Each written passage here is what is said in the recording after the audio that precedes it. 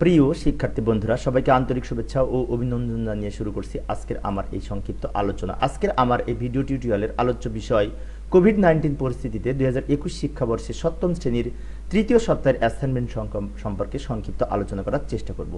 তো প্রিয় শিক্ষার্থী বন্ধুরা, তোমরা নিজেদের মতো করে নিজের চেষ্টায় অ্যাসাইনমেন্ট তৈরি করার মাধ্যমে তোমরা নিজেদের বুদ্ধিমত্তা ব্যবহার করে, সৃজনশীলতা ব্যবহার করে অ্যাসাইনমেন্ট জমা দিচ্ছ, এই আমাদের প্রত্যাশা। তো চলো আমরা দেখি তোমাদের অ্যাসাইনমেন্টের সিলেবাসে কি অন্তর্ভুক্ত করা হয়েছে, বিশেষ করে তৃতীয় সপ্তাহের অ্যাসাইনমেন্টের ক্ষেত্রে, তাই না? তো এই যে লক্ষ্য করি, মাধ্যমিক ও উচ্চশিক্ষা অধিদপ্তর কর্তৃক প্রকাশিত বিজ্ঞপ্তিতে আমাদের তৃতীয় সপ্তাহের অ্যাসাইনমেন্ট সম্পর্কে বলা হয়েছে, ষষ্ঠ থেকে নবম শ্রেণি পর্যন্ত অ্যাসাইনমেন্ট বা নির্ধারিত কাজ তৃতীয় সপ্তাহের জন্য প্রেরণ সংক্রান্ত, তাই না? আচ্ছা আমরা একটু নিচের দিকে যাই, সপ্তম শ্রেণির অ্যাসাইনমেন্টটা খুঁজে বের করি। তো এই যে লক্ষ্য করি, সপ্তম শ্রেণির তোমাদের তৃতীয় সপ্তাহের অ্যাসাইনমেন্টে তিনটি বিষয় উল্লেখ করা হয়েছে, কৃষি শিক্ষা অথবা গারস্থ, বিজ্ঞান এবং সাধারণ গণিত, তাই না? তো আমরা কৃষি শিক্ষার লক্ষ্য করলে দেখতে পাই, এটি কৃষি শিক্ষার প্রথম অ্যাসাইনমেন্ট এবং অধ্যায় যে অন্তর্ভুক্ত করা হয়েছে, এখানে বলা হয়েছে, প্রথম অধ্যায় এর পার্ট এক থেকে শুরু করে পার্ট আট পর্যন্ত এই যে বিষয়বস্তুগুলো আছে, এগুলো ভালো মতো পড়ে আমাদের অ্যাসাইনমেন্টের যে নির্ধারিত কাজ প্রদত্ত হয়েছে, লক্ষ্য করি। আচ্ছা আমরা একটু বড় করি। তো এই যে সহজে বোঝার জন্য আমি একটু বড় করে উপস্থাপন করছি। তাহেরপুর গ্রামের আদর্শ শিক্ষক তো এই যে লক্ষ্য করি, একটু বড় করে আমি উপস্থাপন করছি যাতে তোমরা সহজেই বুঝতে পারো। তাহিরপুর গ্রামের আদর্শ কৃষক রফিক তার বাড়িটি একটি আদর্শ খামারে পরিণত করেছেন। তিনি বাড়ির পাশের জমিতে ধান, গম চাষ করেন। বাড়িতে ফল, শাকসবজি, ভেষজ, উদ্ভিদ ও কাঁঠাল গাছ রোপণ করেছেন। পাশাপাশি তিনি পুকুরে মাছ, হাঁস মুরগি পালন করেন ও গরু, ছাগল লালন পালন করে থাকেন। তো এই এখানে দৃশ্যকল্প এখানে উদ্দীপক হিসেবে উল্লেখ করা হয়েছে। এবং নিচে যে সমস্ত প্রশ্নগুলো বলা হয়েছে, তার পরিপ্রেক্ষিতে তোমাকে কি করতে হবে লক্ষ্য করি, তোমার দেখা এরূপ একজন কৃষক গ্রামের আর্থসামাজিক উন্নয়নে কীভাবে ভূমিকা ভূমিকা পালন করছেন? নিচের প্রশ্নগুলোর উত্তর দিতে হবে তোমাকে। লক্ষ্য করি, এক নম্বর প্রশ্ন বলছে, পরিবারের মৌলিক চাহিদা পূরণের তার ভূমিকা কি? দুই নম্বর বলেছে, দুই নম্বর প্রশ্ন হচ্ছে, তার কার্যক্রম পরিবারের অর্থনৈতিক উন্নয়নে কীভাবে সহায়তা করতে পারে?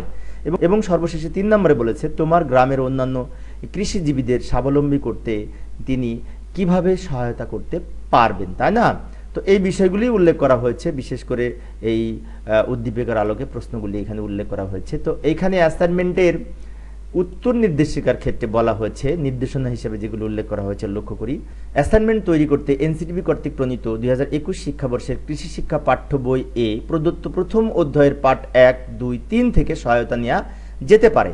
অর্থাৎ প্রথম অধ্যায়ের পাঠ এক, দুই এবং তিনে যেগুলি আছে, সেগুলি তোমরা ভালো মতো পড়লে পারবে ইনশাল্লাহ এছাড়াও বিষয় শিক্ষক, অভিভাবক ইন্টারনেট এবং কৃষি বিষয়ের অভিজ্ঞ ব্যক্তিবর্গের সাথেও সহায়তা করা যেতে পারে। তো প্রিয় শিক্ষার্থী বন্ধুরা, তোমরা যারা বিশেষ করে তোমাদের আশেপাশে যে সমস্ত কৃষক আছে, তাদের কাছ থেকে তুমি বাস্তব অভিজ্ঞতা অর্জনের মাধ্যমে এই অ্যাসাইনমেন্টটি প্রস্তুত করতে পারো। তো আমরা দেখি তোমাদের পাঠ্য বইয়ে কি উল্লেখ আছে। তো এই যে লক্ষ্য করি, কৃষি শিক্ষা সপ্তম শ্রেণির পাঠ্য বইটি আমি তোমাদের সামনে উপস্থাপন করেছি। একটু নিচের দিকে যাই, একটু ভিতরের দিকে যাই পাঠ্য বইয়ের।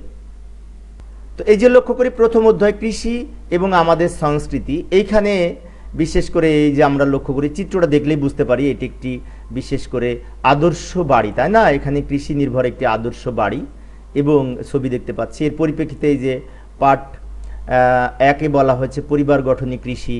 এইখান থেকে শুরু করে বিশেষ করে পার্ট এক, দুই, তিন, খুব ভালো মতো যদি তোমরা এই বিষয়গুলি পড়ো, বুঝো, তাহলে এর পরিপ্রেক্ষিতে তোমরা নিজেরাই অ্যাসাইনমেন্ট নিজের মতো করে লিখতে পারবে। আশা করি তোমরা সেই কাজটি করবে। বইটি সুন্দরভাবে পড়ে, বুঝে, নিজের মতো করে অ্যাসাইনমেন্ট তৈরি করবে। তো এই ছিল সপ্তম শ্রেণির কৃষি শিক্ষা। সপ্তম শ্রেণির আরও যে বিষয়গুলি রয়েছে, লক্ষ্য করি, তৃতীয় সপ্তাহের অ্যাসাইনমেন্ট হিসেবে। এই যে সপ্তম শ্রেণির গারস্থ বিজ্ঞান, এই ক্ষেত্রে, এই গারস্থ বিজ্ঞানের ক্ষেত্রে অ্যাসাইনমেন্ট এক, প্রথম অধ্যায় এর এই পার্ট এক থেকে শুরু করে পার্ট পাঁচ পর্যন্ত এই বিষয়বস্তুর আলোকে অ্যাসাইনমেন্টে নির্ধারিত কাজ যেটি প্রদান করা হয়েছে, মাঝখানে লক্ষ্য করি, আমরা একটু বড় করে দেখি। এই যে আমি একটু বড় করে উপস্থাপন করছি, তোমরা যাতে সহজেই বুঝতে পারো। বর্তমানে কঠিন পরিস্থিতিতে বাড়ির বাইরে ও বিদ্যালয়ে যাওয়া তোমার পক্ষে সম্ভব হচ্ছে না।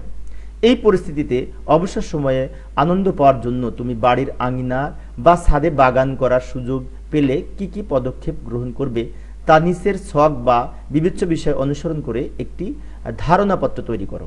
অর্থাৎ তোমাকে একটি ধারণাপত্র তৈরি করতে হবে, একটি প্ল্যান করতে হবে, পরিকল্পনা করতে হবে। তুমি যদি বাগান করতে চাও, তাহলে তোমাকে কি কি বিষয় এখানে কীভাবে কাজ করতে হবে, তাই না? তো এই ক্ষেত্রে বিবেচ্য বিষয়ের ক্ষেত্রে বলা হয়েছে, বাগানে তুমি কি কি গাছ লাগাতে পারো, তাহলে গাছের লিস্ট করতে হবে, কি কি গাছ তুমি লাগাতে পারো, নিজের মতো করে তুমি কারও ছাদ বাগান তুমি দেখতেও পারো, দেখে এসেও তুমি গাছের নাম লিখতে বিশেষ করে লিস্ট করতে পারো। বাগান করতে তুমি কি কি সম্পদ ব্যবহার করবে, অর্থাৎ বাগান করতে হলে তোমাকে কি কি লাগবে, তাই না? বিশেষ করে এখানে সম্পদ বলতে বোঝাচ্ছে তোমার টব লাগবে, তোমার ওই যে টাকাও তো লাগবে, তাই না? সাথে তোমার বিশেষ করে বিভিন্ন মাটি সরঞ্জাম সহ বিভিন্ন ওই যে তোমার মাটি মেরামত করার জন্য, মাটি পরিচর্যা করার জন্য তোমাকে বিভিন্ন সরঞ্জাম লাগবে, কৃষি সরঞ্জাম যেগুলিকে বলে, সেগুলিকে সম্পদ হিসেবে ব্যবহার করতে পারো তুমি এখানে। এই কাজের মাধ্যমে তুমি কীভাবে উপকৃত হবে বলে মনে করছ? তাহলে তোমাকে এই যে এখানে আরও বলেছে নির্ধারিত কাজের ধাপসমূহ, পরিকল্পনা প্রণয়ন করতে হবে, সংগঠন, নিয়ন্ত্রণ, মূল্যায়ন এই বিষয়গুলোও কিন্তু তোমাকে উল্লেখ করতে হবে অ্যাসাইনমেন্টে সুন্দর করে। তো এখানে নির্দেশনায় বলা হয়েছে, গৃহ ব্যবস্থাপনার ধাপ জানতে পাঠ্য বইয়ের সহযোগিতা গ্রহণ করতে পারো। অর্থাৎ পাঠ্য বইটি যদি তুমি ভালো করে পড়ো, তাহলে এর উত্তর দিতে পারবে ইনশাল্লাহ তো এবার আসি আমরা এই সপ্তম শ্রেণির গণিত বিষয়ের বিষয়টি লক্ষ্য করি অ্যাসাইনমেন্টে লক্ষ্য করি, এখানে কি উল্লেখ করা তো এখানে অধ্যায় হিসেবে প্রথম অধ্যায় উল্লেখ করা হয়েছে মূল্যদ ও অমূল্যদ সংখ্যার উপর ভিত্তি করে এই বিষয়বস্তুর আলোকে অ্যাসাইনমেন্টের যে নির্ধারিত কাজ এখানে প্রদত্ত হয়েছে। আমি একটু বড় করে উপস্থাপন করছি, তোমাদের সহজে যাতে বুঝতে পারো। তো এই যে লক্ষ্য করি অ্যাসাইনমেন্টে নির্ধারিত কাজ অঙ্কের কি বলেছে এখানে লক্ষ্য করি। তুমি একটি তিন অঙ্কের পূর্ণবর্গ সংখ্যা লিখো এবং দুটি ভিন্ন পদ্ধতিতে সংখ্যা দুটির বর্গমূল নির্ণয় করো। অর্থাৎ তিন অঙ্কের তোমাকে একটি পূর্ণবর্গ সংখ্যা লিখে দুটি ভিন্ন পদ্ধতিতে সংখ্যা দুটির বর্গমূল নির্ণয় করতে হবে। দুইভাবে বর্গমূল নির্ণয় করে তোমাকে দেখাতে হবে। পরবর্তীতে দুই নম্বরে বলেছে একটি শূন্য দলকে নয়, বারো এবং বিশ সারিতে সাজানো যায়, কিন্তু বর্গাকারে সাজানো যায় না।